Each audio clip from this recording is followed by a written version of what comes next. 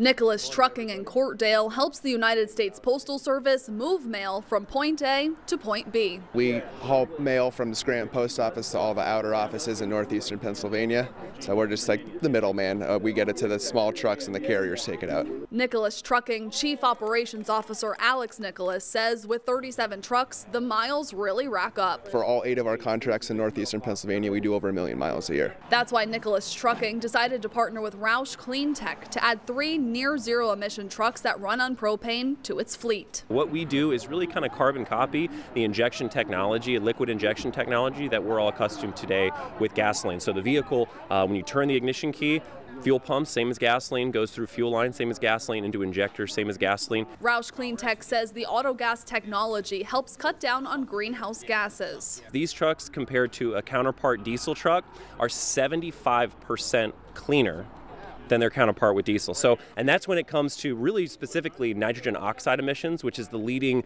reason for asthma, for lung health. That takes that right off the road immediately. Nicholas says the rising price of diesel was part of the reason for adding the propane trucks to the fleet.